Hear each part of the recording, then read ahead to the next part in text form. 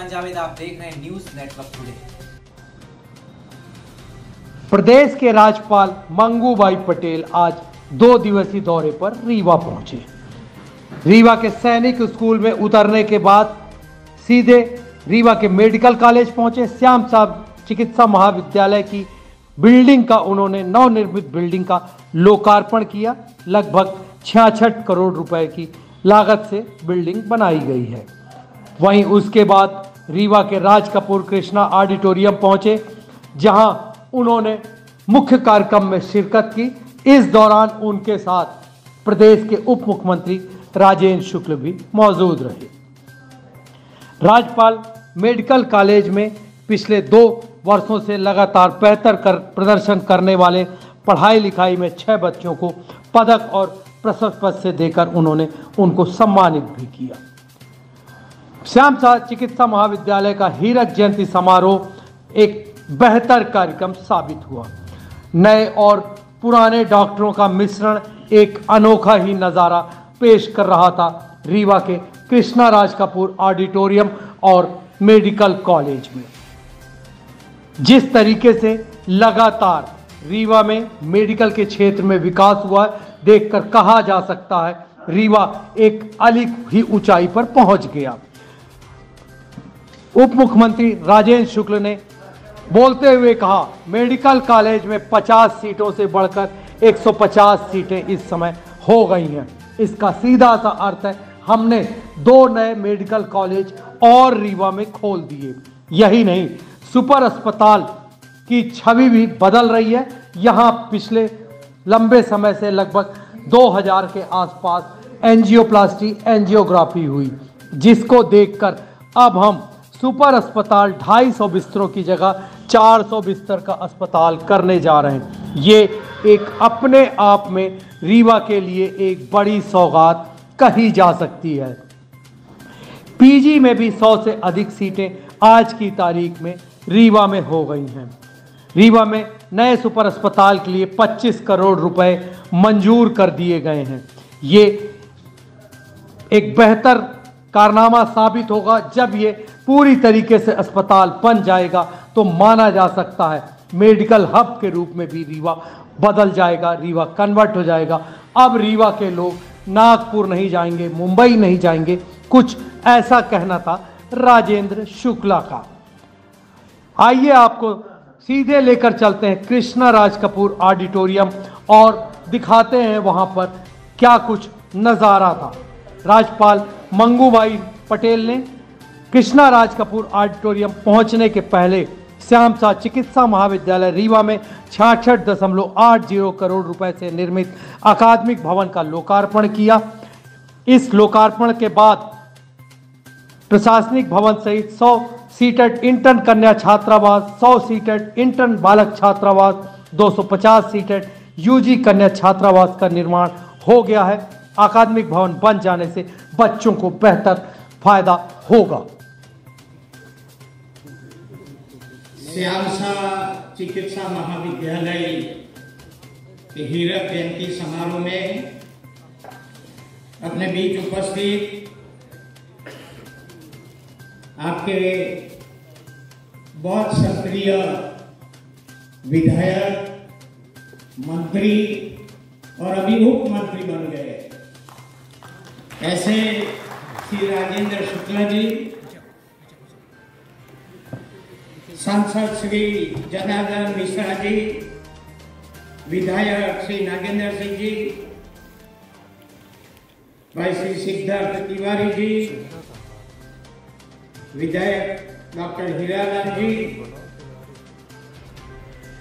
शहीद लाल श्याम जी के नाम पर स्थापित चिकित्सा महाविद्यालय की हीरक जयंती समारोह में उपस्थित होकर मुझे बहुत हर्ष और गर्व का अनुभव हो रहा है। आज़ादी के अठारह के आंदोलन के सेनानी शहीद लाल श्याम सिंह का पुण्य स्मरण करते हुए उनको नमन करना। यहाँ शुरू में जिसने जिसने अभी तक कोई ना कोई प्रकार की सेवा की है। और सभी को मैं बहुत बहुत धन्यवाद देता हूँ। ताली तो बजा उनको धन्यवाद देता हूँ।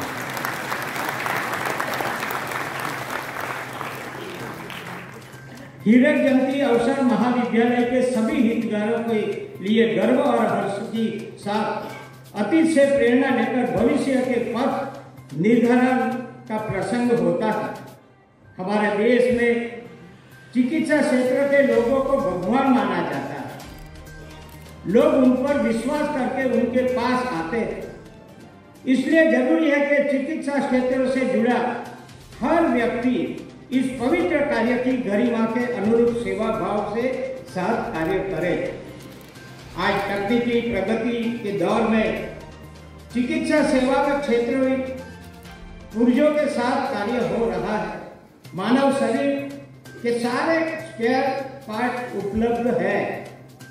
लेकिन चिकित्सा के क्षेत्र में मैकेनिक की तरह कार्य नहीं किया जा सकता है, क्योंकि डॉक्टर नर्स का वास्तव मशीन से नहीं, एक ज़िंदा इंसान से होता है। कहने का आशा ये है कि व्यक्ति के उपचार के लिए शरीर के अंग की कठिनाई का ज्ञान पर्याप्त नहीं है। मानवीय संविधानों का भी ज्ञान से साथ जोड़ना होगा। समारोह में जाते हैं। लेकिन मेडिकल कॉलेज के हीरक जयंती में आए हैं। इसलिए मैं उनका अभिनंदन करता हूँ, उनका धन्यवाद देता हूँ। और साठ सीटों से बढ़ के डेढ़ सौ सीट होने, सिर्फ़ सीटें नहीं बढ़ाई मध्य प्रदेश की सरकार ने। और हमारे प्रधानमंत्री मोदी जी ने जो स्वास्थ्य के क्षेत्र को एक सबसे बेहतर क्षेत्र फोकल सेक्टर के रूप में जिस तरह से वो काम कर रहे हैं, कोई भी ऐसा सेक्टर नहीं है जो मोदी जी की नज़रों से ओझल हुआ। लेकिन हेल्थ सेक्टर में जिस तरीके से उन्होंने काम किया तो न सिर्फ़ उन्होंने अस्पताल बनाए, न सिर्फ़ उन्होंने मेडिकल कॉलेज बढ़ाए, बल्कि गरीब अपना इलाज करा सके, इसलिए आयुष्मान कार्ड से पाँच लाख रुपए तक का मुफ़्त में उसका इलाज हो सके बड़े बड़े अस्पतालों में। इसकी भी व्यवस्था उन्होंने की है। तो आज जो ये डेढ़ सौ सीटर हुआ है उसमें छियासठ करोड़ की बिल्डिंग पहले तो हम लोग मेडिकल कॉलेज में, मुझे याद है जब doctor C V Shukla ji रहते थे तो संजय गांधी अस्पताल में जन भागीदारी से हम लोग उसकी रिपेयरिंग कराते थे, कोई पाँच टॉयलेट बनवा देते थे, पाँच पलंग लगवा देते थे, कहीं से पंखे ले लेते थे, कहीं से कूलर लाते थे। मरीजों को परेशानी ना हो।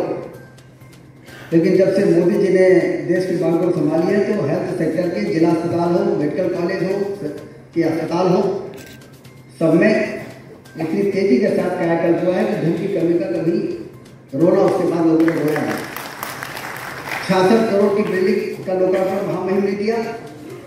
डेढ़ सौ करोड़ का सुपर स्पेशलिटी अस्पताल रीवा में बना हमारे जूनियर डॉक्टर्स के हॉस्टल्स कितने जर्जर थे। नए चमचमाते हुए शानदार हॉस्टल्स का लोकार्पण हमने पिछले दिनों किया। चाहे वो जे का हो, चाहे वो एस का हो। नर्सेज जो हमारी बहुत ही दयनीय हालत में रहती थी। उनको हम लोगों ने नया बिल्डिंग नया ब्लॉक बना के दिया। और जो बचा हुआ काम है, वो भी बहुत जल्दी हम लोग करने वाले हैं। सुपर स्पेशलिटी अस्पताल ने तो रीवा की छवि को बदल दिया। अब हमारे अंदर ये आत्मविश्वास पैदा हो गया है। महामहिम जी, कि यदि नागपुर, बंबई के बाद नागपुर मेडिकल हब बना तो आने वाले दो चार साल बाद हमारा रीवा मेडिकल हब बन के और इसके लिए मैं हमारे यहाँ डॉक्टर्स तो पहले भी बहुत अच्छे थे। अभी चित्र दिखा रहे थे डॉक्टर प्रीति द्विवेदी जी। उन डॉक्टरों को जो आज दुनिया में नहीं है और जिनका योगदान रहा है, जो बहुत सारे लोग यहाँ पर हैं भी, हमारे यहाँ डॉक्टर्स अच्छे डॉक्टर्स की कभी कभी नहीं रही। लेकिन सी टी स्कैन की मशीन नहीं होती थी एम आर आई की मशीन नहीं होती थी, किसी को गंभीर चोट लग जाती थी तो C T M R I के बिना डॉक्टर्स होने के बावजूद उनका इलाज वो नहीं कर पाते थे। तो उनको लेके भागते थे जबलपुर, प्रयागराज, और कभी कभी रास्ते में ही उनका तो दम तोड़ देते थे। सारी डॉक्टर्स प्रतिभाशाली डॉक्टर्स होने के बाद भी ये परेशानी थी, लेकिन आज सी टी एम की मशीन तो लगी, जिला अस्पताल में भी सीटी मशीन लगी। और हमारे सुपर स्पेशलिटी अस्पताल में भी सीटी मशीन है। संसाधन का जिस प्रकार से कभी कभी लोग कहते हैं कि क्या किया है मेडिकल कॉलेज पहले भी था, अभी भी तो मैं उनसे कहता हूँ, पहले साठ सीटर का मेडिकल कॉलेज था, डेढ़ सौ सीटर का मेडिकल कॉलेज हो गया है। यदि दो दो अतिरिक्त मेडिकल कॉलेज रीवा में, यदि हम साठ साठ के अलग अलग बनाते तो दो नए मेडिकल कॉलेज बन जाते, उसी साठ को अपग्रेड करके हमने डेढ़ सौ सीटर कर दिया। तो कौन कहता है कि पहले पहले जितनी आवश्यकता जिस तरह से बढ़ी है उस तरह से व्यवस्थाएँ में बढ़ाने का काम किया गया, प्रधानमंत्री जी के द्वारा, प्रदेश की सरकार के द्वारा।